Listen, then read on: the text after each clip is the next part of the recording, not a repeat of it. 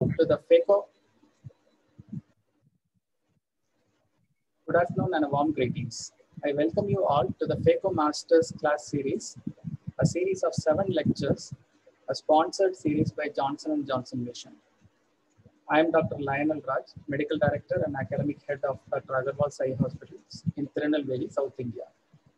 It's indeed a great honor and pleasure to me to introduce a well-renowned person, Dr. Mohan Rajan sir, who doesn't require any int introduction to most of us, as he is well known everywhere in the, in the globe. He is the chairman and director of Rajan Eye Care Hospital in Chennai, in Tamil Nadu. He is the president-elect of uh, Tamil Nadu Ophthalmic Association, visiting professor in Saveetha Medical College, is a past president of Intraocular Implant and Refractive Society of India, an alumni of Sankara Nethralaya, member of Managing Council, All India Ophthalmological Society, and member Scientific Committee of the AOS. He is also a chairman of Eye Care of Rotary District 3232. Professor Dr. Mohan Rajan is proficient in both anterior and posterior segment surgeries. He has presented more than 2000 papers nationally and overseas in all the renowned congresses. He has performed more than 120 live surgeries, microincision cataract surgeries across the world, has several innovations to his credit, like Puncture Access, Mohan Rajan's Chopper, etc. He has delivered 25 named orations and had published more than 42 publications in various peer-reviewed journals. And he is also a reviewer of most of the peer-reviewed journals. He has won several Best Video Awards from American Academy, Asia Pacific Academy, American Society of Cataract and Refractive Surgeons, European Society for Cataract and Refractive Surgery, APAO, World Ophthalmology Congress, etc. He has trained and mentored over 600 ophthalmologists around the globe. He is also the winner of 55 Ophthalmic Premier League till date. It's a world record, in fact. So with this introduction, uh, he has also anchored four books. Uh, he has uh, been authored. He has authored four books. And with this introduction, in a cataract surgery, as we know, phaco or microphacoemulsification are technologies which has evolved over several decades. Likewise, there was an evolution and still developments in the field of OVD. Laterally, an integral part of successful cataract procedure is the implantation of an intraocular lens. The choice of lens, the preferred way of uh, implantation, the preferred implantation sites like in the back, over the sulcus, anterior chamber, tuck to the sclera, suture to iris or sclera, clip to iris, etc., etc., etc. All those are most important, just like the matter of phacoemulsification itself. Talk on IOL implantation techniques, I invite Dr. Mohan Rajan sir, whose experience with over 150,000 cataract procedures would justify him to be the right speaker on this subject. Over to you, sir. Shall I share my screen, Lionel? Yes, sir, please.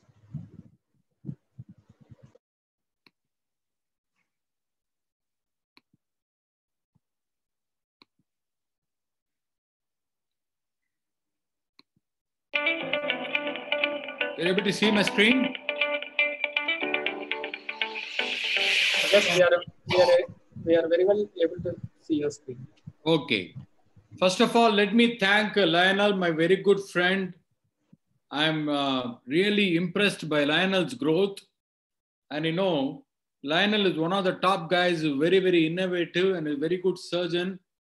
He's doing fantastically well in Tirunelveli in the Agarwal Hospital. I'm very glad that he was we uh, is moderating this session. Lionel, thank you very much. Also, also like to thank the J&J team for this wonderful opportunity. I would say this has been a real experience and learning for me as well as for the delegates who are participating in this webinar, which is called the Phaco Masterclass Series. as you all know, uh, these are my financial letters, which has nothing to do with this particular uh, lecture. We had the uh, the five phaco masterclass series that is know your phaco mission the wound construction capsulorhexis and hydrodissection or hydro procedures the nucleus management epinucleus and cortical aspiration IOL implantation techniques is what we are going to do in the sixth one. And we have got one more next week, which is going to be the seventh one. The topic will be decided in a couple of days. Each and every of these are very, very important. The knowing your phaco mission, we talked about the various phaco dynamics, the various phaco missions. The wound construction, of course, is very, very important as far as the phaco emulsification is concerned. This is the safety valve Capsulorhexis, nobody can emphasize the importance of the capsulorhexis and the hydro procedures. And the nucleus management, we did the divide and conquer, the stop and chop, and the direct chop, the vertical chop, the horizontal chop. All these we discussed a couple of weeks back. And of course, last week, we discussed a very important topic, which is the epinucleus and cortical aspiration. And today, we are going to do the final one, which is the IOL implantation as far as the phacoemulsification is concerned. And next week, probably we'll look at the advanced phaco like complications or management of the complications or how to anticipate the complications. The IOL implantation is very, very important for all of us because we have to make sure the IOL is in the bag.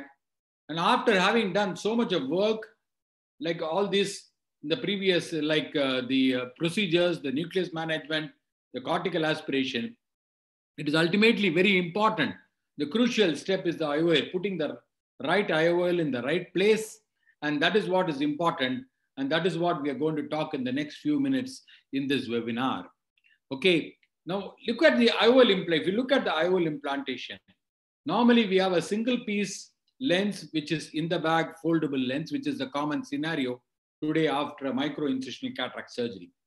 And then, of course, we have a three, three-piece IOL. Then we have a three-piece uh, IOL that is a sulcus fixation. Then you have an AC IOL or an anterior chamber angle supported IOL. Then iris fixation IOL, which is a retrofixation. Scleral fixation, either sutured or a glued IOL or the Yamane technique, whatever it is. All these I'm going to cover in this particular lecture. Now look at this Tecnis multifocal, okay? When you, I'm going to start this Tecnis multifocal just to show you that the most important thing for an IOL is to, I'll stop here just to show you this. Okay, I'm going to stop here, okay? When you have a multifocal lens, please understand, don't try to catch the optic of the lens. For example, any lens for that matter, more so in a multifocal lens because these got, got diffractive rings.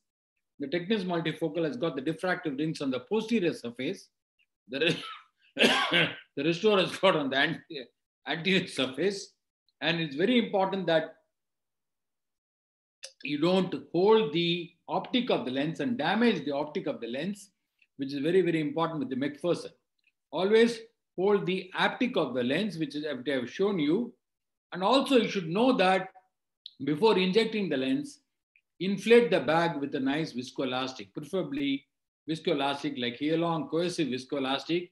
Or if you have got access only to HPMC, HPMC is good enough. Only thing is it takes a longer time for the HPMC to come out of the eye. The Healon comes out of the eye very quickly. So some people do the irrigation assisted uh, what you call the lens implantation. I will also talk about that. I don't do that. I always use, uh, use a viscoelastic like a cohesive viscoelastic. Inflate the bag. Use the right injector for the right lens, the appropriate injector. Don't use some other company injector for some other lens. Very important.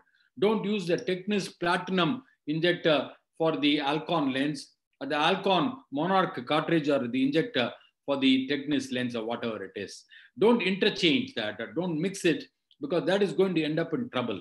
And all these are very, very important because after having done so much of good work, and if you don't put the lens properly, ultimately the patient has come only for the uh, uh, intraocular lens and uh, gaining the vision as well.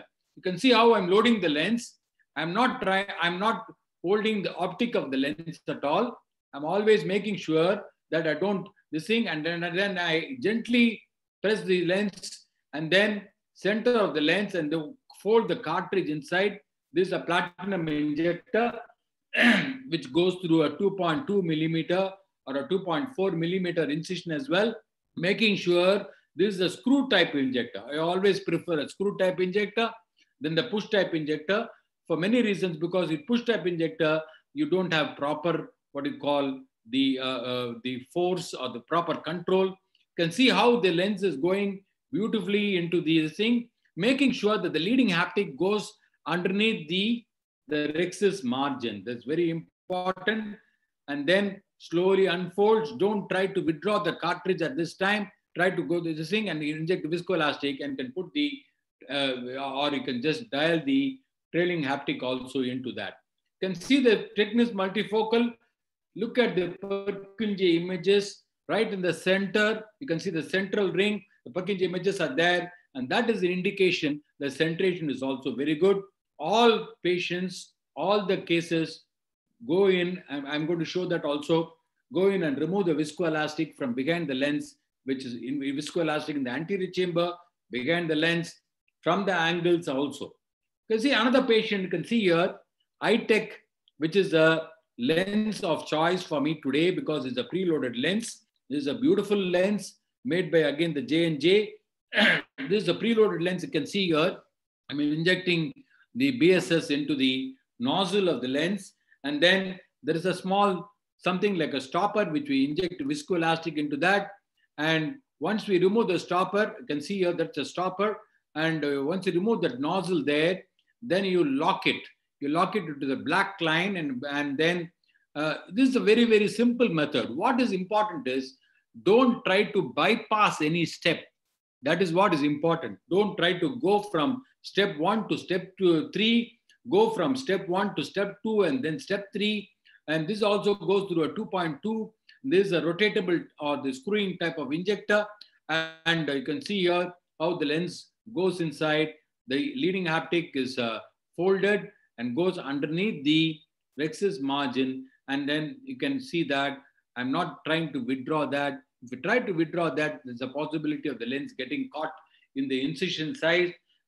Always make sure that you stay there and make, sometimes you can put it in one stroke like that, or you can just wait there and come out and then fish, uh, fill in the viscoelastic and then use a second instrument or some dialer just to dial or push it back into the bag. The, the leading, the trailing optic also goes into the sink. So it's a very, very, very simple method, very simple. Only thing is it, it, it needs a little bit of patience. Again, you can see a symphony lens going through a platinum injector and how the symphony lens, as you know, is an extended depth of vision lens, the lens of choice for me nowadays for the presbyopia correcting lenses. and you can see the rings are about nine rings and compared to the Tecnis multifocal, the Symphony is only nine rings are there and this gives an extended depth of vision lens. Again, making sure that you go and remove the viscoelastic.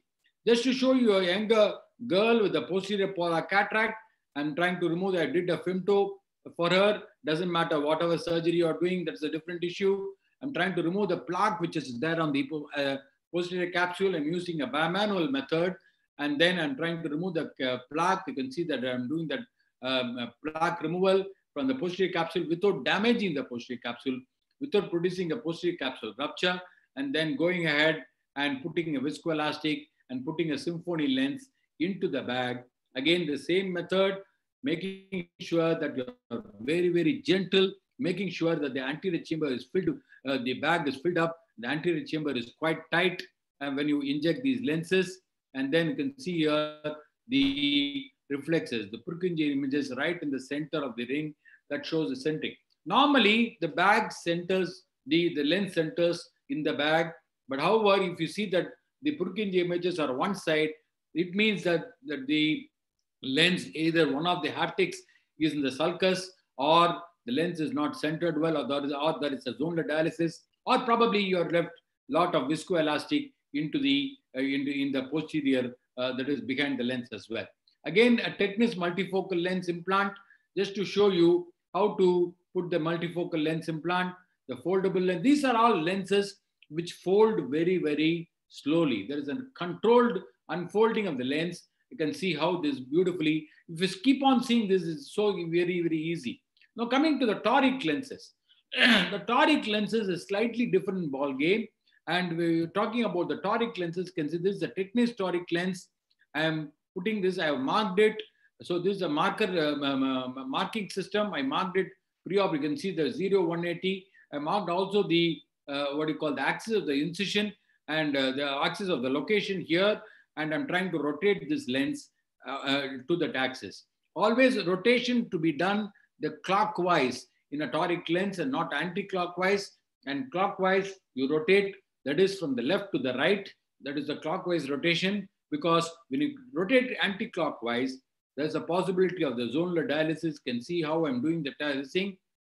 Always look for the line. To eliminate the parallax, always look for the reflex, which is that's the center.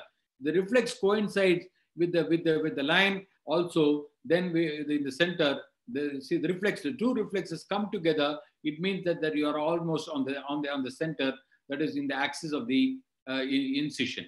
So this is also another way of doing it. So this is the uh, toric axis of the axis, the intended axis of location of the lens. Just to show you an IQ toric, wherein I'm using a markerless system, that is the Callisto system. Toric, loading of these lenses is very, very important. Okay, either you load it or you ask one of your trusted uh, assistants who is loading it regularly for you. Make sure because the loading can screw up the whole thing if you don't load it properly. Just to show you how to just fill up with the viscoelastic, first balance on the viscoelastic. I prefer something like a cohesive viscoelastic like K-Long. You can use HPMC also. You can see there's a Callisto is on. You can see that it's a markerless system which is attached to the Zeiss and IOL master. And the Verion is attached to the Lenstar and the any other microscope for that, um, uh, for that matter. You can see that when I'm loading the lens, putting the lens, you can see here I'm folding that the leading um, um, the optic, the haptic, and then folding the trailing haptic also and putting it on the surface of the optic. On the surface, you can see that on the top of the optic and then pushing it inside. And there's a beautiful system that is the Monarch uh, cartridge, the D cartridge, which is very, very, which goes through again a 2.2 smaller incision as well. and making sure that the lens comes in the nozzle after you lock it there and, the, and making sure that the, the plunger pushes the lens into the nozzle. So this is all, all things, all things you have to do it outside. That is before you enter the eye. You can see the Callisto marking is there. And now I'm going to put the lens inside. And we were talking about the toric lens implantation. Very important. Again, the, the chamber has to be filled up with a good uh, viscoelastic, preferably Healon, cohesive viscoelastic. And then you can see that the axis of the location is about 4 degree in this particular patient. You can see the 0, 180 degree is marked in the yellow, uh, 0 and the, and the 4 degree is marked in the three blue lines, which is there in the Callisto. So what we have to do is you have to center that ring or the, the, the, the toric mark onto the center of the, the, the, the, three blue lines. Again, going underneath, removing the viscoelastic in the anterior chamber, angle more importantly, underneath the lens as also tapping the lens as far back as possible. You can see I'm trying to uh, uh, I rotate the lens uh, first uh, clockwise, which I have not shown this, and then I try to make sure that the three dots are coinciding with the center of the blue, which is again very, very important for you to understand. That is the end point as far as saying. And always hydrate the wounds very nicely and if you are not able to have a deep chamber, make sure that you put a suture in the case of toric lenses as well.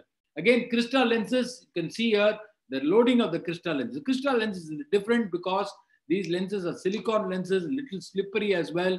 They got a slightly bigger uh, polyimide haptics, and haptics are little peculiar shape, and sometimes it may have difficulty in going through the uh, uh, what do you call the, the the leading haptic going through the uh, what do you call the rhexis margin. I always, when, I, when I'm doing the uh, trailing haptic, I always flex it up nicely.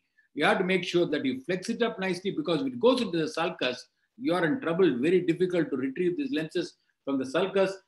these crystal lenses, always making sure that you have a slightly larger rhexis, like 5.5 or 5.75 millimeter. And these crystal lenses are working very well as far as accommodative lenses are concerned.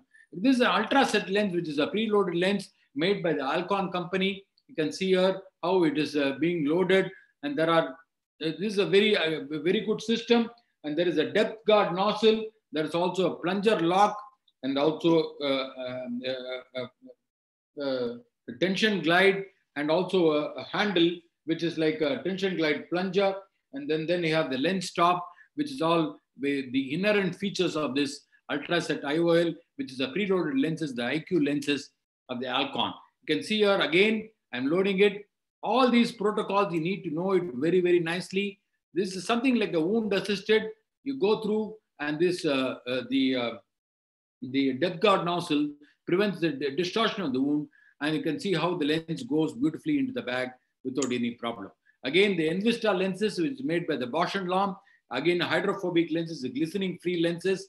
These are lenses are little, uh, what you call, little more, uh, what you call, uh, rigid. And also it takes a longer time for unfolding. And this is the way I load the lenses. And you can see how the lenses go inside the eye. And in the case of presence of PCR, this is probably a lens of choice because the controlled unfolding of the lenses, the slow unfolding of the lenses, make sure the PCR doesn't enlarge. Especially when you want to put a lens, small PCR, when you want to put a lens in the bag, and it's probably a lens of choice for me. And you can see this is the lens, Envista lenses, which are very good lenses, and hydrophobic lenses, which have got excellent contrast sensitivity. They are glistening free lenses, and you can see that the lenses have got a very good, uh, uh, uh, what do you call, uh, value, and the contrast sensitivity is also very good. The PCO is also very, very less with the lenses. Again, the MI60 lenses, which is wound assisted, 1.8, we used to do, use a lot of these lenses. These are hydrophilic lenses, which go through a small incision. The wound assisted lenses, we have to just use the push type. You have to be a little, little careful. Make sure that you, you uh, inflate the anterior chamber. The anterior chamber is a little less with, it's not inflated properly. There's a possibility that the lens can buckle and get caught in the wound, which, which can happen. Again, the Supraphob Infocus, which is an extended depth of lens, uh, uh, lens uh, made by the Appasamy group. You can see this, uh, uh, how I load that lens into the, into the injector, which is being provided by the company. More importantly, you can see here how the lens goes inside beautifully into the rhexis margin and centers very well. There is a central ring which is about 1.4 millimeter in these lenses, which makes uh, the gives the extended depth of vision in these lenses. Again, you can see the Supraphob Infocus lens, how I'm trying to do it in one stroke. You can see many of these lenses, you can just put it in one stroke. You can just put it like that and can uh, making sure that you don't enjoy, uh, uh, withdraw the, uh, this is a supra, not in focus lens, is a very plain Supraphob lens. Just to show you the three-piece lenses, there's rezoom lenses, we don't have these rezoom lenses. We have the Sensar acrylic lenses, which is rezoom lenses, we used to use this rezoom, which is refractive, hydrophobic, multifocal, refractive with the five zone refractive. You can see how these lenses are being loaded. The loading of these three piece, just to show you how the loading of the three piece lenses are very, very important. When you load the three piece lenses, one of the haptics has to come out and you have to, you can see here how I'm putting that, the haptic, which is the trailing haptic, has to jut out. And you can see this uh, injector, which is being provided at that time, the re, re, rezoom lenses, which similar to the platinum injector, what we are using, and uh, which can go through uh, a smaller incision as well. So again, a rezoom lens, you can see here, how and this is an older video, so the, the clarity may not be as good. Please understand when you put a three-piece lens, these lenses, unless you've got a good, nice bag, because these lenses will rotate and come like this, and they come from the right to the left, there's the leading haptic. And sometimes if your bag is not inflated properly, you can go and touch the posterior capsule and rupture the posterior capsule as well. Just to show you an MA60 three-piece lens again, how I'm trying to put this, a patient who had a high myopia, and you can see here, this is an MA60 lens, again, going through a C cartridge there, which is made with Monarch C cartridge. You can see here how the lens the leading haptic, uh, the, the, the haptic comes and rotates, and unless your the bag is inflated very nicely, there's a possibility that you can rupture because this can go and rupture the PC, and that is the reason why always you have to inflate the bag very nicely before you implant. Okay, you can see here how I'm tucking the lens, the trailing haptic into the bag, and the patient becomes all right. In the case of a small pupil, it's always very, very difficult to know exactly where you, whether, whether your leading haptic is going inside or not. Again, good viscoelastic, cohesive viscoelastic like Healon or a uh, Healon GV or something like that. And then you can see here how I'm trying to push that lens into the sink and also uh, going all the way inside. Going all the way inside, making sure that most of the optic as well as the leading haptic also goes inside and then it's very easy to put the trailing haptic also. When you have a small rhexis, it's always very difficult to push a, lens which is about uh, this size, about six millimeter diameter. And this is a patient who had a small rhexis, a mature cataract. I had to do a small rhexis. I didn't want to enlarge the rhexis before the implantation of the lens. So I thought I will try to push the lens. You can see here, the lens is going all the way inside. And you can see here how it is very easy. Once you do that, then you can probably remove the viscoelastic from behind and enlarge the rhexis and becomes very easy. Viscoelastic removal under the IOL. You can see this is very, very important. Okay, going under the, because this tapping of the lens will not remove the viscoelastic, going under the, that's why when you use a cohesive viscoelastic like Healon, just going underneath the lens in one stroke, the entire Healon will come out of the eye and it will make life easy for you. When you have a PCR, when you have special situations, then you have an IOL in the bag, the IOL in the sulcus, or an AC IOL, iris claw lens, SF Yamane technique, or a glued IOL. So this is a PCR. You can see this PCR occurred to me long time back, about 20 years back. You can see the small PCR. But once you have a PCR, don't withdraw this, uh, this thing. Always inject viscoelastic through the side port. But that is all. This thing, uh, everybody knows about that. But more importantly, you can see here how I am trying to, uh, uh yeah, put this lens after doing a small vitrectomy and put this in. This is an MA60 lens which was available at that time. And I'm trying to put this in the bag. I'm using the holder and folder method of the at that time because the injectors were not available. Again, is another patient with the PCR.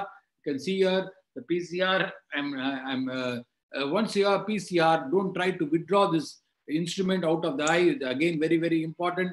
And then you do a bimanual vitrectomy. You always do, remove the vitreous and then remove the cortex and then in this patient, I put a Sensar acrylic lens. Again, this patient was done long time back in the year 2007. You can see the uh, date also and uh, how this uh, Sensar acrylic lenses, which is a three-piece lens. Once you have PCR and you have uh, lost most of the posterior capsule, there's no point in putting a single piece lens into the bag because it is going to produce UGH syndrome because of the thick haptics. Always put a multi-piece lens in the sulcus and you can capture this lens into the bag as well. You can see here, I'm trying to do an anterior vitrectomy and at that time the 23 gauge was not available to us and it's only the 20 gauge anterior vitrectomy. I can see how I'm trying to put this lens. Once you know exactly, because sometimes the pupil can become small, you can use an iris hooks to find out where exactly your rhexis margin is.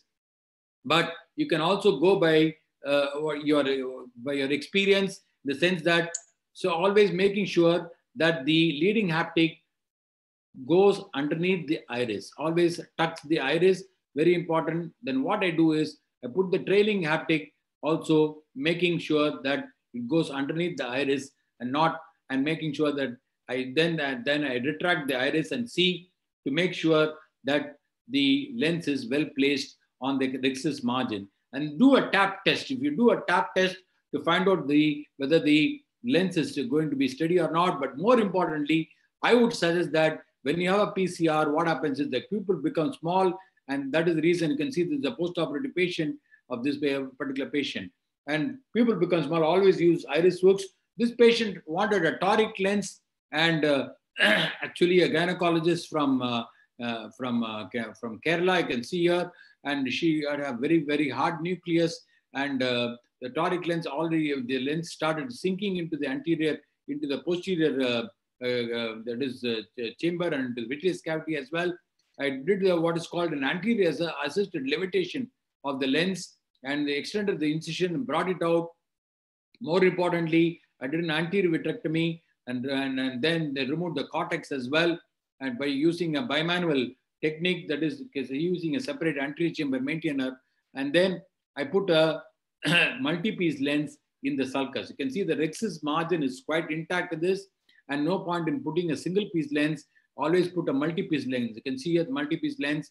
Always making sure that you the, the leading haptic goes underneath the iris in front of the rhexis margin, not underneath the uh, cap, uh, capsular rhexis margin. If it goes underneath the capsular rhexis margin, there's a possibility the lens can go into the vitreous cavity the very next day, and you can be shocked to see very next day the lens will be on the macula.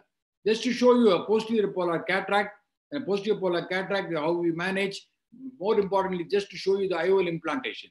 Again, I'm putting a multi-piece lens, in this case an MA60 Alcon lens, and you can see here how I'm trying to put that leading haptic on this surface. Sometimes you can put it in the anterior chamber also, but more importantly, to make sure that the leading haptic tucks or what you call Uh, uh, uh, goes underneath or underneath the iris on the surface of the anterior capsule. And then I'm tucking the, the, the, what you call the trailing haptic with the McPherson forceps. I'm not leaving it, leaving it in the sulcus. I'm doing what is called the optic capture. You can see that I'm the, the haptic is in the sulcus, the optic capture. The rhexis is intact. You can see the posterior capsule. There are two pillars on the posterior capsule, very typical of the posterior polar cataract. I'm doing what is called the optic capture, wherein you can see here uh, how I am trying to uh, capture that optic into the capsular rhexis margin.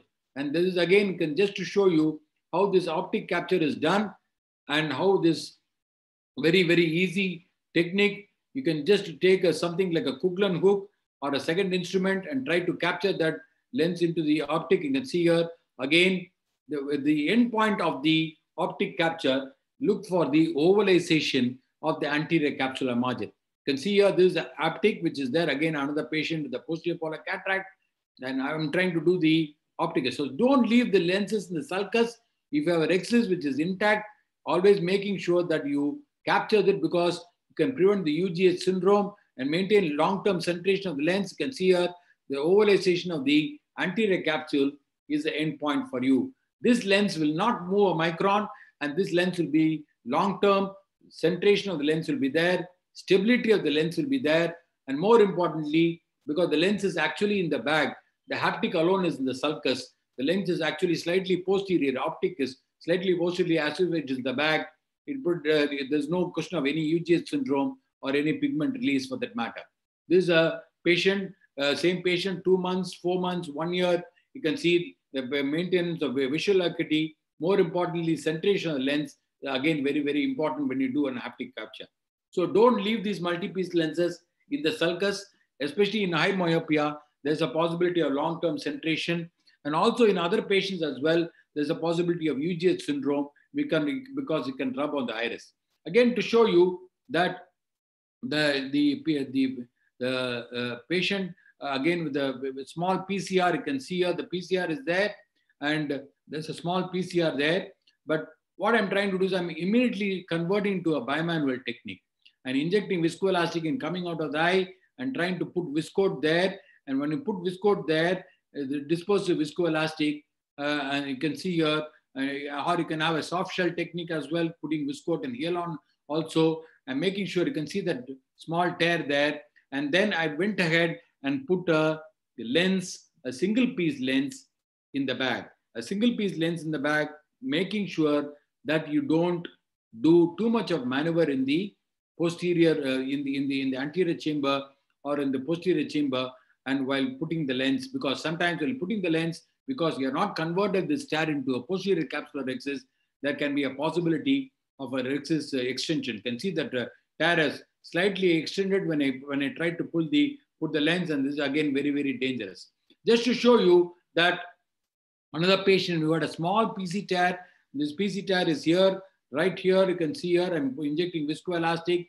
And this is when you have a small PC tear, as I told you, the lens of my choice will be something like Envista or uh, even uh, Tecnis lens also. But more importantly, this Envista, what happens is it unfolds very slowly, but it is a little more rigid than the Tecnis or the SA60, but it uh, unfolds very slowly. You can see here and just putting the lens in the bag and going ahead and the patient had fairly good results as well.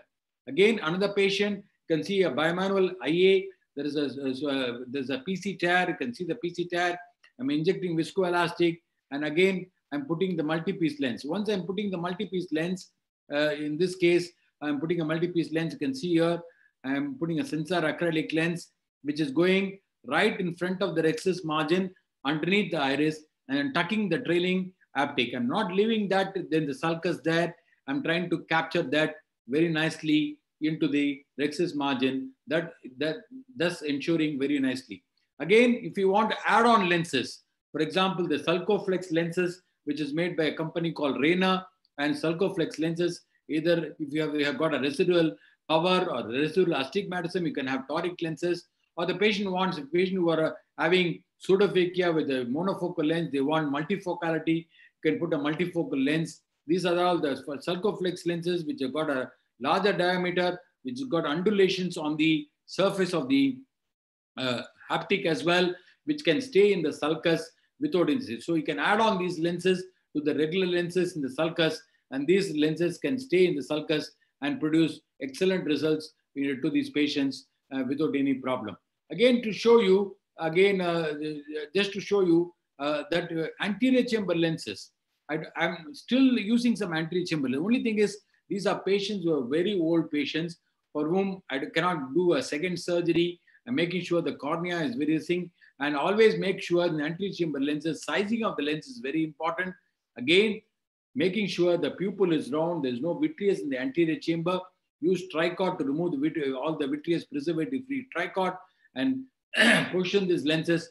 Don't forget to do a peripheral iridectomy in this case. We're going to do a peripheral iridectomy. These patients, you can see this patient, particular patient, after one week post-op, the cornea is clear, the pupil is round, the chamber, the PI is patent, and also the uh, the uh, the lens is well centered and the patient had fairly good results. Again, if you have you have lost entire anterior capsule as well as the posterior capsule, you can use what is called the iris claw lenses. This iris claw lenses are very easy to inject. I always put a scleral incision, and because the uh, the maintenance of the chamber is very very important in the iris claw lenses, uh, or you can even use an anterior chamber maintainer. More importantly, the the holding of the lenses with something like a Clayman forceps, you can use that. But uh, this is a very, very easy technique. You can go through the side port and then with a 26 gauge needle, you can just try to enclavate that claw into the into the mid peripheral iris and uh, you can see that mark on that and once it's uh, it's fixed on one side you can enclavate the other claw also and it makes life easy This retro iris claw lenses is a very, very quick method of rehabilitation of aphakia, or if you have a PCR, you can do that as well. Scleral fixated IOL, you have sutured IOLs, special IOL with eyelets, special sutures, tough learning curve, cumbersome procedure, less stability, more pseudophacodonesis, increased incidence of secondary glaucoma, uveitis CME, suture degradation can occur, and the lenses can dislocate after a long time after maybe a few years or so, dislocation of IOL can also occur. So this is the ab externo technique, 90 Prolene, 27. I used to use 10 0 Prolene, but nowadays I'm using more of the, uh, what do you call, the uh, glued IOL and keep uh, technique standardized.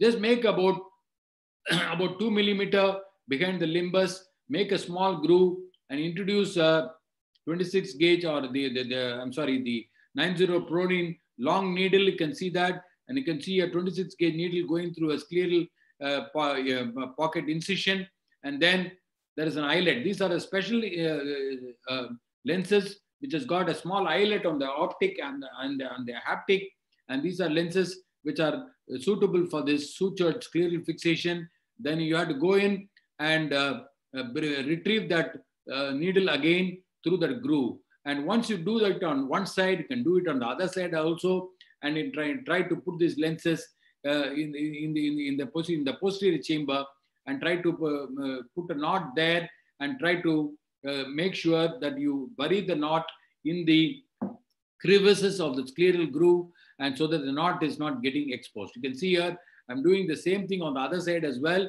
And you can uh, making, making sure that on one side, you put the uh, suture from up down, and the other side to uh, put the suture from down up. So that is again very important to prevent the torquing of the lenses. More importantly, the torquing of the lenses are very, very uh, uh, not uh, uncommon in these type of lenses. And that's reason why pseudophacodonesis and also the suture degradation nowadays, we can even use Gore-Tex sutures for this. Glued IOL, as you know, Amar is the one who started this way back in 2007. Very, very simple technique. We have done uh, more than 700, 800 of these uh, glued IOLs, plenty of them, and with excellent results. More the 0 180 degree, the flaps have to be made. You can use a Ashwin Agarwal marker or radial keratotomy marker to mark the 0 180 degree. Again, this glued IOL, you can see here uh, how this uh, um, the, the uh, you can have a rectangular flap or you can have a triangular flap or whatever you're um, comfortable with, which is about two millimeter from the limbus, 1.5 to 2 millimeter from the limbus. You can see here, I'm doing a flap and then you can have an anterior chamber maintainer or a pars plana infusion because sometimes I use, most of the times I use pars plana infusion because I do both anterior and posterior segment surgery. But many anterior segment surgeons will not be able to use the pars plana infusion. So they can go ahead with the anterior chamber maintainer and then you can go ahead and do what is called, you can ask your assistant to push the lens. And this is a screw type. I use the Sensar acrylic lenses or the MA60 lenses. I prefer the Sensar acrylic lenses for the glued IOL. Simple technique. Only thing is when you when the when the haptic comes out, don't try to pull it out. Always catch the tip of the haptic. And once the optic comes out, then you bring it out, externalize the haptic on one side, and then the handshake technique, you externalize the haptic on the other side as well, and then try to tuck the haptic into the grooves. You can see here uh, the uh, into the small tunnels which you are making with the 26 gauge needle. Uh, always um, uh, uh, what do you call mark that with the gentian blue uh, violet or the, the, the trypan blue to make sure that I know exactly where my tunnel is so they can tuck that haptic into the tunnel. A good amount of the haptic has to go into the tunnel.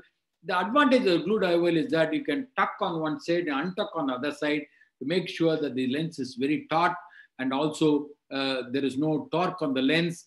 Again, very important, there is no pseudophacodonesis, which has been done in several studies. The Yamane technique, which is a modification of the glued IOL, what you do is you just go inside uh, this uh, uh, needle. I've done a few of these uh, surgeries. You can see here, I'm trying to Uh, put this uh, 27 gauge needle and put the haptic into that and trying to externalize the haptic through a small uh, scleral uh, what a tunnel which is made by a 27 gauge needle. You can see and trying to externalize that haptic on both sides. Once you externalize both the haptics, then what you do is just do a cautery. The cautery is not this thing. Don't, don't touch the uh, thick of this. Just take the cautery closer to that and then create, try to create a flange. Try once you create a flange, you push it under the conjunctiva, and then you can see the lens is centered very well. Of course, the Canabrava technique, uh, my very good friend Sergio Canabrava from Brazil has given this video to me just to show you a four point fixation of a Canabrava. You can see a 4-0 or 5-0 Prolene suture, which is used on an Akreos AO lens, which has got a four point fixation. You can see how he does it. And you can see that the only thing is the incision has to be extended a little because these are uh, the six millimeter optic lenses, hydrophilic acrylic lenses. And once you do that, you can see that the, uh, the, the, the sutures are externalized. Once the sutures are externalized, then what you have to do is just put a cautery there and you can, you can create a flange nicely. Then the, the advantage of this Canabrava technique is that it can be either a two-point fixation, but there's a four-point fixation with it because there is a four flanges as far as the as the Akreos AO lenses is concerned. You can see here the first and second and the, the third and fourth flanges are created very nicely and pushed underneath the conjunctiva and the lens is very, very stable without any problem. Now let's see the IOL related complications. The haptic can get stuck underneath the, these are preloaded lenses. I don't want to mention the lenses. You can see the haptic can get stuck underneath the, uh, the uh, surface of the uh, optic. And this is a very, very difficult scenario. For example, uh, this is very difficult scenario because you have to go underneath the optic and try to remove that, uh, try to pull it out. And sometimes the there can be a kissing of the two haptics, which uh, which you might have to do mechanically. You can see here and trying to pull it out, and this takes a sometimes long time. As I told you, the Envista lenses take a longer time to uh, unfold. So this Envista lenses never unfolded, and uh, um, uh, the sometimes you might have to use uh, a little more mechanical force. And this I did a lot of acrobatics for about five minutes, eight minutes, and ultimately I had to remove the lens thing. Because again, the Envista lens is getting caught. Sometimes uh, you can see the haptic can get caught, and you can see there's another patient with a Supraphob lens, uh, which is uh, you can see as I'm putting, putting the haptic, the haptic gets caught. These are the, the, green injectors, the green, the medicinal injectors, the green type of injectors wherein the haptic can get caught. You have to be very careful. Don't try to pull that. Always do what is called the episiotomy. Use a 11 blade and try to open up the, uh, the, the cartridge. Once you open up the cartridge, uh, the, there is more space for the haptic to be released and slowly you can release that haptic slowly. Because otherwise, if you try to pull it out, the haptic will break and you have to extend the incision and take this lens out. So once I removed that, I did an ocular episiotomy, and I call this episiotomy. And uh, in fact, Lionel has also got a fantastic video on this. And then I put the, uh, the, the lens in the thing. Again, a preloaded lenses. The preloaded lenses, you have to be a little careful because you do not know what's happening inside the lenses. The totally preloaded lenses, you do not know because you don't see the lenses. Otherwise, the loading of the lenses, you see the lenses macroscopically as microscopically, and then we know exactly. Preloaded this patient had a uh, only the optic came and uh, the haptics were missing completely in this particular patient. Obviously, this lens has to be explanted and had to be replaced. Again, another patient with the with the with the preloaded lenses. As I putting the lens to my to my shock, you can see here there is a large hole on the optic of the lens. There is a, I call it the donut lens. You can see her right in the center. And one of my PGs were asking me, what is this type of lens? I told him it's a special type of lens. It's called a pinhole lens, wherein the, through the pinhole, the patient will be able to see better. Obviously, these lenses are all very sync. When you have a preloaded lenses or any lenses for that matter, for example, this is a preloaded lenses. You can see here, the lens is going in. Along with, with it, the cartridge, the plunger also goes in. The silicon plunger, which is also goes in and uh, very difficult because it's very, very slippery to remove the silicone plunger. I had great difficulty in removing that, but this can happen. So what is I'm going to think important is when it is going when when they when the when you try to inject these lenses when it is very tight when it is very tight please do not inject these lenses take these lenses out completely and go for another set of lenses another set of cartridge so that we see if it's very tight, there's a possibility there can be crack on the lens, and there can be a problem of uh, haptic fracture or the optic fracture or something like a plunger coming out or the thing. It's very tight. Always, if there's a lot of resistance. Opacified IOL, we reported a huge number way back in 2002 of a particular company of hydrophilic lenses, opacified IOL, wherein the, obviously this lens has to be removed. Again, this is a patient, we had a be careful. This patient had a posterior capsulorhexis pediatric cataract. When, when you put the lenses, okay, sometimes the lens come, can come out with the jerk. We come out with a jerk. You can see here what is happening. The lens somersaulted. The lens somersaulted and went through the small posterior capsular opening into the vitreous cavity. And we had to do a vitrectomy and remove this lens as well.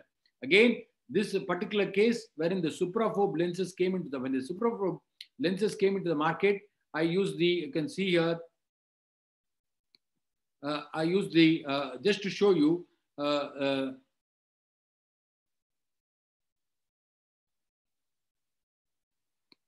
I'll stop here. This Supraphob lenses came into the market. They didn't have an injector. So I used the Alcon injector, the Alcon injector for a Supraphob lens. Don't do that. That in the beginning of the lecture itself, I told you, because don't use one injector or one company injector for another lens. So this is what will happen. You can see here, this is a Supraphob injector. There's no, absolutely no, this thing in uh, whatever I'm do, doing here, but you can see here, the lens is coming out with the jerk. See that the lens is coming out with the jerk. And then it produces not only a, this thing, it produces a PCR. and the lens started tilting into the vitreous cavity. Then I had to do an, what is called an anterior assisted levitation and pull this lens up and put it in the sulcus, and the patient did very well. The take home messages are load the IOL yourself, use time tested injector systems, check the compatibility between the IOL and the injector. Beware of preloaded IOLs. Nowadays, all the companies are going, coming out with the preloaded IOLs. Another one or two years, we're going to have only the preloaded IOLs in our market. Do not be complacent. Normally, you are complacent because at the end of surgery, you have done a small pupil, you have done a hard cataract, you have done a fantastic surgery. So your concentration is not there as much when you're doing the IOL implantation. But the concentration during the IOL implantation has to be not 100%, but has to be 200%. Thank you again, J&J, for this wonderful opportunity. I'll stop sharing my screen. Stay, stay home, stay safe, and stay healthy. Over to Lionel. Yes, sir. Thank you so much, sir. Uh, wonderful presentation and video casing of uh, IOL implantation technique. Almost the entire techniques uh, are being covered. Uh, some of the most important things what you said, uh, uh, I'll just summarize for the benefit of young ophthalmologists who are joined yes. here. Do not touch IOL optics while loading the lens, preferably load by yourself use appropriate cartridges and don't interchange company uh, cartridges of different companies that may end up in disaster. Ensure completeness of viscoelastics being removed, especially from the undersurface, the posterior surface of the IOL, uh, especially in cases of uh, uh toric implantation and uh, uh, presbyopia, presbyopia correcting lenses do not try to bypass any steps so that complications may ensure. Purkinje images over the center of the lens, on the center of the lens, will act as a clinical sign of exact centration of a uh, presbyopia correcting lens. Always rotate IOL, C-loop IOLs in a clockwise direction uh, in order to avoid zonular dialysis special consideration of three-piece intraocular lenses to be taken, to be used, uh, especially when there is a challenge to the posterior capsule. And that was a wonderful, wonderful, wonderful demonstration of the hand rotation of the surgeon.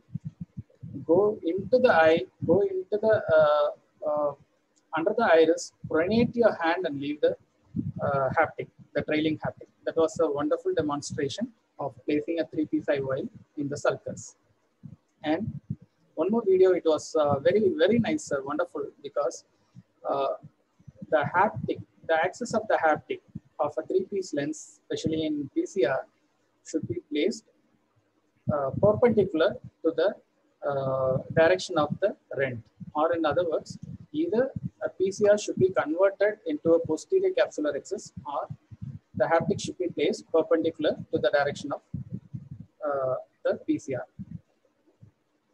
Always visualize the rhexis margin while placing a lens in the sulcus uh, till you get very well experience and try to do a tap test, what has been demonstrated by Dr. Mohan Rajan sir. And uh, IOL stuck onto the injector, don't take a risk or a challenge. Remove the injector and the IOL out and place a new one. IOL stuck to the posterior IOL surface. Try to dissect using uh, uh, irrigating, uh, you know, IA probe or to try to make a, a separation using two instruments with well-formed chamber in order to prevent easy rupture. So all these are uh, take-home points which I could gather, and uh, there are some uh, questions for discussion, sir. Yes, sir. from the audience, and I have few which is worth discussing also. Yes, sir. So which lens is better according to you? Is it a scleral fixation IOL or an iris claw lenses in case of uh, absence cap absent capsule? The back. Uh, I prefer the glued IOL for the simple reason that uh, my my you know our study the glued IOL definitely has got better stability, and it is in actually the exactly the same position as a lens in the in the bag lens, the glued IOL. more importantly, the, uh, the, uh, the, the pseudophacodonesis, the incidence of CME is very, very less with this glued IOL. But the only thing is there is a learning curve in glued IOL. So yesterday also we were discussing in one of the webinars, there's nothing wrong in putting a retro iris claw lenses because it takes a little time. Whether you're putting retro iris claw lenses or a glued IOL, okay, make sure that you remove the vitreous which is there in the anterior chamber, very important. Use a preservative-free Tricort, do a bimanual vitrectomy, remove the capsular and cortical remnants, everything, remove the nucleus, all the everything, make sure that there is no nucleus in the vitreous cavity. All these are very, very important before using. Suppose you have a PCR and you are not able to decide. Nothing wrong in postponing the secondary IOL implantation to a later date, which may be two weeks, three weeks down the line when there can be capsular fibrosis also if the anterior capsule is there. Then you have time to think, then you can plan whether you can go for an iris claw lens or a glued IOL. So, so I, we do only the glued IOLs mainly. Of course, we have done some iris claw lenses as well. And some of the, uh, what you call postgraduates who have had PCR, we have even suggested anterior chamber lenses for very old patients who are coming from very far off places, making sure that all the protocols are followed even in anterior chamber lenses, the sizing of the lens, the taking care of the pupil, the taking care of the vitreous, doing a peripheral iridectomy, all these are very, very important. Uh, I do agree with you also, sir. Um, the question was, uh, which one do you choose, uh, SFIOL or uh, iris claw lenses? So both are approved version of lenses. It's, it's the surgeon's preference that makes uh, the choice. But I, I, I, I, too do agree with you. I would prefer to go for a, a intrascleral haptic fixation using a blue IOL technique. And I also agree that uh, 10 years back, uh, we were doing, uh, I was doing uh, ACIOL. While using ACIOL, it is to be mandated that uh, the, the haptics, the four points of the haptics fix on the angles and not on the corneal endothelium, as well as uh, not on the surface of iris. iris. And do a, and do a good PA uh, to avoid any uh, pupillary block. So I think that should answer uh, the first question. The second one was uh, what type of foldable IOL can be implanted in the sulcus in case of a PCR? Is that only a three-piece IOL? Three-piece IOL. Or anything else was uh, the question made. And it is very clear. Yeah. Uh, uh, and most of the reports have also said that uh, single piece IOL in the sulcus is not safe. That can produce, uh, yeah. And though, though there are some surgeons who say, I have put uh, single piece lenses in the sulcus, I've got a 10 year follow up. Okay, please understand that these single piece lenses have got thicker haptics, okay? And they've got a, um, uh, what do you call, thicker optic as well. And there is every time the iris moves forward and backward, that is uh, in and out, uh, when the pupil moves, there can be a pigment release. And what we call as the UGS syndrome can definitely be there. I have explanted personally. Uh, my cases itself, I have put a long time back single piece lenses. Uh, I'm talking about 10, 12 years back. I explanted these lenses, uh, the SA60 lenses. I put it in the sulcus by mistake and I explanted these lenses because the patient had recurrent uveitis and also glaucoma as well. So all these problems can occur. And my suggestion is when you have uh, when you have a small PCR, convert that into a posterior capsulorhexis and put a single piece lens, whatever you want, like a Tecnis or a Envista or a Alcon SA60, whatever you're comfortable with, into the bag. Okay, without trying to convert that into a small posterior capsulorhexis. If you try to put a lens in, that is going to expand. I showed in one of the videos there. Fortunately for me, the lens was stable. Okay, but the possibility is that, that you can lens the, lose the lens into the vitreous cavity within no time. So if it is not going to be there, suppose your posterior capsule is completely gone and you've got only the anterior capsule, that is capsulorhexis margin all wrong, my this thing will be that go for only a three-piece foldable lens, preferably a Sensar acrylic or an MA60 lens.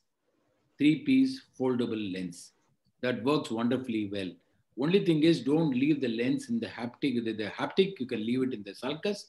Try to capture the optic is very, very simple technique as I shown you in the video. Uh, uh, I, I, guess uh, Dr. Sachin would have got the answer. So in a PCR, go for a three-piece lens uh, implantation into the sulcus. Don't ever use uh, a single-piece lens on the sulcus. But there are uh, another alternative fixation of single-piece lens in PCR where the haptics are still posterior to the capsular margin, the anterior capsulorhexis margin, whereas the optic lies over the capsule. So that is called as a reverse optic fixation Reverse optic and, and uh, reverse optic capture. And uh, that is a more, more a challenging work. So uh, as panelists, we would uh, also recommend uh, don't try to have a single piece lens on the sulcus. I have myself also explanted following post-operative pigment storms and IOP rise. So that is one. And uh, an appreciation from Dr. Pallavi, uh, wonderful videos. Can you please suggest some good instruments for SFIOL? And how early can secondary IOL be done after primary aphakia? you can take the patient after about two weeks or three weeks um, because by two weeks what happens is there's a good fibrosis and there's a fusion of the anterior and posterior capsule and uh, you can actually see the uh, the uh, the, uh, the rhexis margin the capsule much more clearer uh, clear, clearly. And after about two weeks you can probably take these patients up. And also by the time the inflammation everything will subside to a large extent. And if there is a spike in the intraocular pressure, which is not uncommon after a complicated uh, surgery, now all these can be taken care. Or sometimes there can be corneal edema that can also clear up after about two or three weeks. You can take the patient up for surgery. Don't be in a hurry. You can always tell the patient you're going to get a lens. Only thing is, I'm making sure that you're getting the best lens in the best position. That is what the patient, most of the patients will agree with that, I'm sure. So that is the way I think we should go about it. What is the second question?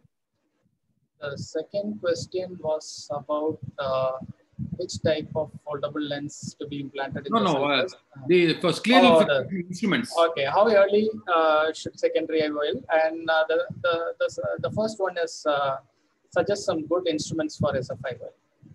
SFIOL, if you're going for the uh, what do you call the glued IOL, then the instruments are available. The glued IOL forceps, is all these are available uh, with the Epsilon company, and uh, that's what I we are using that regularly. And you need only the glued IOL forceps. Otherwise, it's all very simple and uh, straightforward technique. And uh, the, uh, it's not a very uh, what do you call uh, except for the cost of the glue. Otherwise, it's not a. You know, only thing is you need to use a three-piece lens again. Yeah. Uh, And uh, for, a, for the sutured scleral fixation, you need that particular uh, needle, the Alcon needle, the uh, the uh, 90 Prolene uh, needle, which is there, or the 10 0. I don't use the 10 0. I would suggest go for the 9 0, but the 10 0 sometimes it gets it's a little more fragile. Fragile, it, it cuts. So 90 Prolene is probably the way to go. And otherwise, the instruments are nothing but you need only a 26 gauge or a needle on that side and uh, the routine instruments which are there.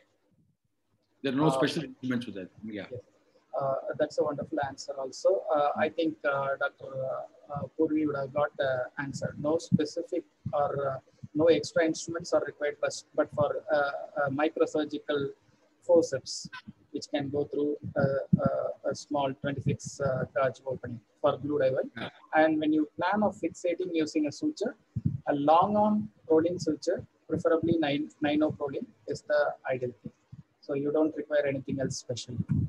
And uh, sir, I have certain points uh, which we can Yeah. take up for discussion for the young surgeons to uh, catch. Uh, uh, though the talk is more focused on implantation techniques, uh, sometimes it may be necessary for a person to, for a, for a surgeon, anterior treatment surgeon to explant a lens and reimplant some, some other lens. So do you have any surgical tips on explantation of an IOL? The explantation of lens, suppose you want to expand the lens, what I would suggest is uh, always fill up the anterior chamber with uh, with Viscoat as well as uh, something like Healon GV because or Healon and to make sure the anterior chamber is very nicely inflated. Then what I do is I try to bring uh, that lens, uh, the the, uh, the the lens which is the original lens, into. I try to Uh, get it out of the bag. And if uh, sometimes if it's going to be a long time, there can be fibrosis. You can just cut the haptic and bring the optic alone. What I do is I bring it into the anterior chamber and then I put the second IOL. Okay, I use the first IOL as a scaffold because I don't want, while removing the first IOL, I don't, I, I don't want any rupture of the posterior capsule. Because if you rupture the posterior capsule, the whole battle is lost. So what I do is I keep that, that uh, first IOL in the anterior chamber, making sure that I have a good, nice, deep anterior chamber. Viscoelastic is a game changer in my opinion. And something like OVD, like Healon or Healon GV, or even Viscoat to protect the endothelium. And then I put the second IOL underneath the first IOL into the bag and then, uh, and then try to uh, remove this lens. Either by cutting the lenses into two or cutting by almost three fourths and then extending the incision to about 3.2 millimeter or 3.4 millimeter. I do what is called a hand-on hand technique. If you do and try to do a hand-on-hand technique, you will be able to remove most of these lenses without extending the incision to four or five millimeter or six millimeter. Exactly. So uh, uh, that's a wonderful suggestion. So because in IOL implantation, I, I wish I had so because this is an IOL implantation, probably we have to have an IOL explantation course also. Uh, and uh, you know, okay. yes. Do we, have an explantation course? No, no, no. No, no. Okay, okay. So I, that, I guess I should have covered that also in this. No, no, no, no, no problem, sir. So that's that's that's uh, that that's the idea behind. So yeah. uh, any form of foldable lenses, silicone or uh, even uh, any form of acrylic lenses, bisect into two, use enough uh, and liberal viscoelastics to protect the corneal endothelium. Uh, remove it. Some of the lenses could be folded and removed. Some of the lenses, one quadrant if you remove, we, we can just rotate and remove the rest of the lens. So that is possible. And as had been uh, mentioned very clearly, if the iris is, uh, if, the, if the haptic is too much stuck, you can just sacrifice the haptic within the bag. That's a good suggestion too. Yes, sir. And, and uh how do you manage uh, when IOL is stuck halfway during injection? Yes. So, uh, I, I had a video, but I didn't have time to show the video if, if the wound assisted ones, if your wound, if the anterior chamber is not inflated sufficiently, and if you try to push it, and if you don't give proper force, then the, the IOL can get stuck in the wound. And it will neither go inside nor come outside. And you don't want that to come outside, you want it to go inside. If you try to push it, then the order, uh, it, it may go inside with a jerk and rupture the PC. What I do is I go underneath the lens Go posterior to the lens and try to extend the incision with a small keratome, making sure that you don't, don't damage the optic of the lens because the optic is probably there in that area. So go underneath, go posterior to the lens, posterior to the, the posterior lip of the incision, you try to extend and then you can either pull the lens out or push it inside depending on whatever you want to do.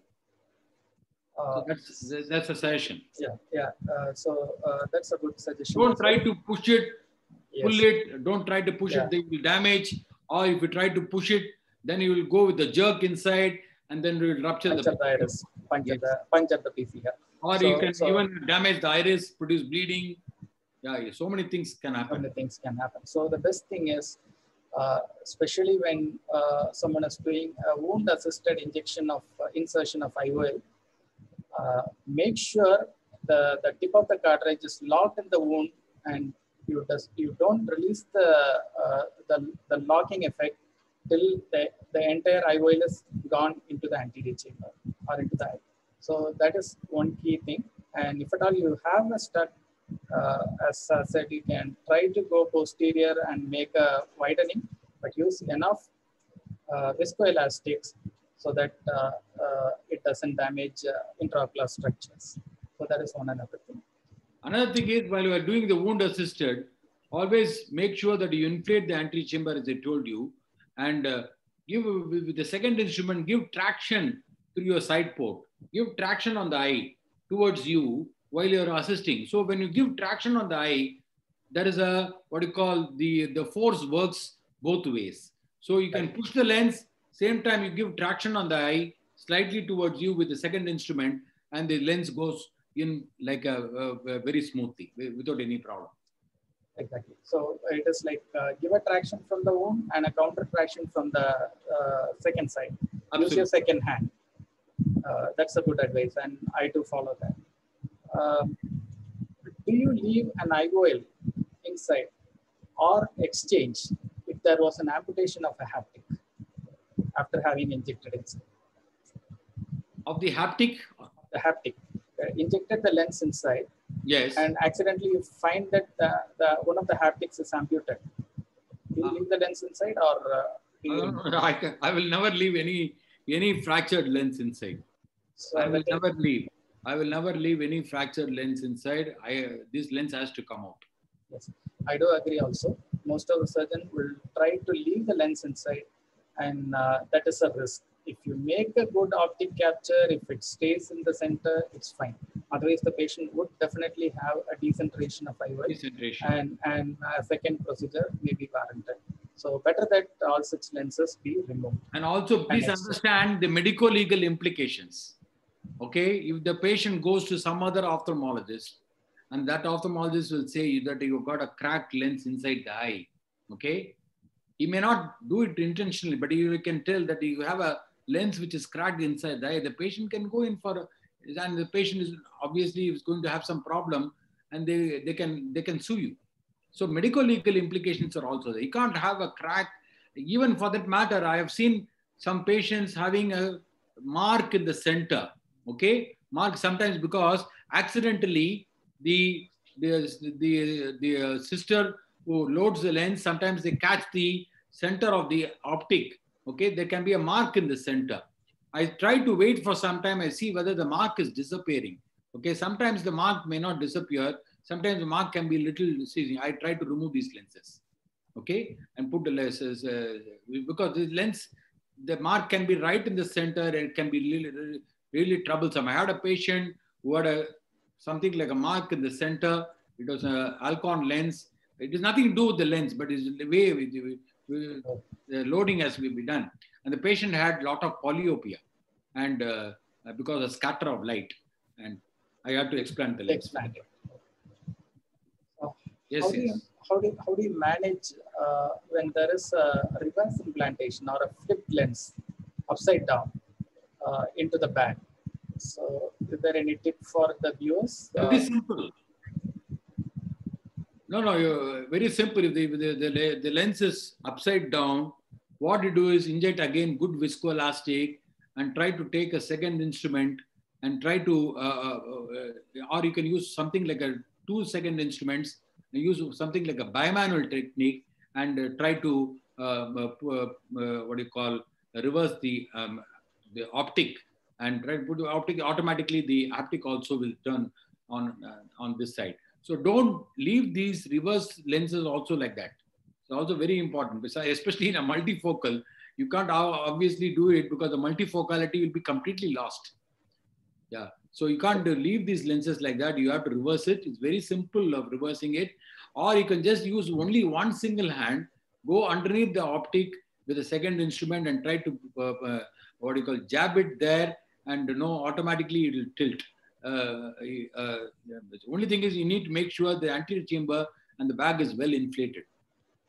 So uh, use bimanual uh, both the hands in uh, making the lens uh, in the right position. Yeah. I just have a suggestion, sir. If it is a non-aspheric lens, a biconvex lens, still do we need to revert it or leave it that?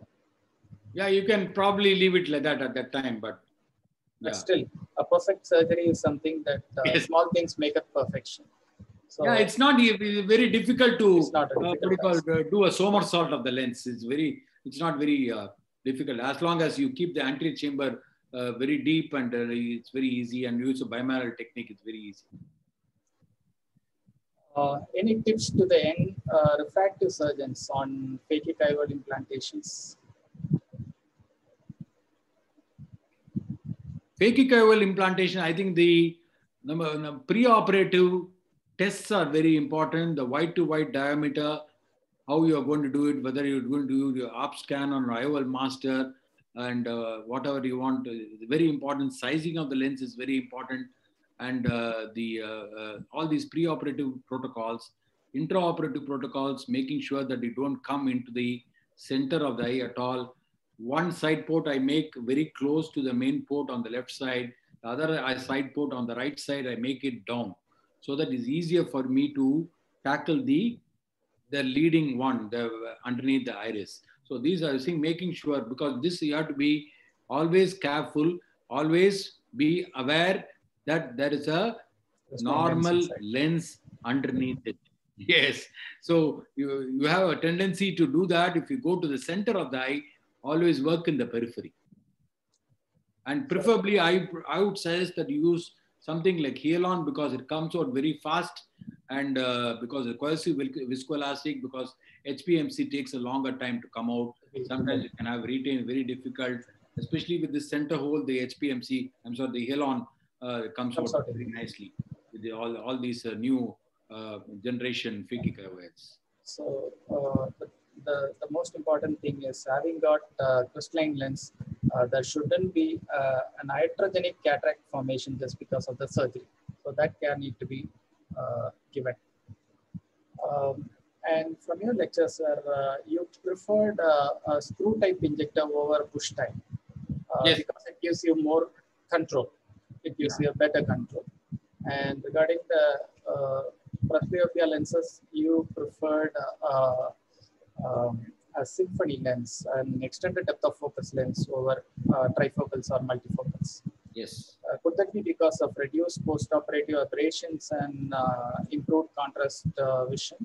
please understand this uh, the symphony lenses in my opinion uh, the halos are very the photic phenomenon very less more importantly the contrast vision is very good in symphony that is why even if you don't get very good near vision like the trifocals or the multifocals in symphony the patients are happy because the range of vision is very good and also the contrast vision the quality of vision is excellent in symphony so that is, I think, uh, the advantage of symphony, in my opinion. Nowadays, I do a combination of symphony in one eye and Tecnis 3.25 in the other eye. And uh, this works wonderfully well because the symphony gives the contrast, the range of vision. The Tecnis 3.25 gives the good near vision as well. And the patients are very particular about near vision. I do that as well. So the uh, symphony, I do the micro monovision. If I do both eye symphony, I do one eye plano, the other eye I aim for about 0.5, 0.75. The micro monovision, make sure that the patient has got good range of vision. Intermediate vision is really fantastic in symphony. Near vision is what is lacking. So that's what I do. With the micro monovision, I am able to do that as well. That's an excellent advice because I do do that. Uh, uh, uh, I prefer uh, extended depth of focus lens, uh, especially because of the um, the quality of vision what it gives. And in the dominant eye, distant dominant eye, I would definitely go for that. And near dominant eye, maybe as you said, yes, a multifocal would help. Uh, there are no other questions uh, for discussion, and we also Okay, sir. have moved. Uh, uh, we are just past uh, 10 or 15 minutes uh, more of the Yeah, yeah, yeah. I think so because I have to go for another webinar. uh, yeah. To conclude, uh, to conclude, though IOL uh, implantation techniques had greatly developed over years, and special injector cartridge systems are available in the market, a thorough knowledge and skills for budding surgeon are mandatory in fixation of IOL in the back and on the sulcus at times. And definitely, a secondary fixation measures in the absence of uh, capsular support needs to be known by all anterior segment surgeons. I believe this video-based lecture and discussions have created a significant impact on all the viewers and especially the young budding surgeons to upgrade their knowledge and to enhance their skills in their practice. I especially thank our speaker and educator, Dr. Mohan Rajan sir, and the team of J&J Vision for organizing such a lively event. Thank you all and have a wonderful weekend. Thank you. Thank you, Lionel. Thank you, uh, J&J. Thank you, Raghu, Ashok, Jashwinder, and all the people from J&J for the wonderful opportunity. See you again next Saturday. Thank you, sir. Thank you. Thank you. sir. Right.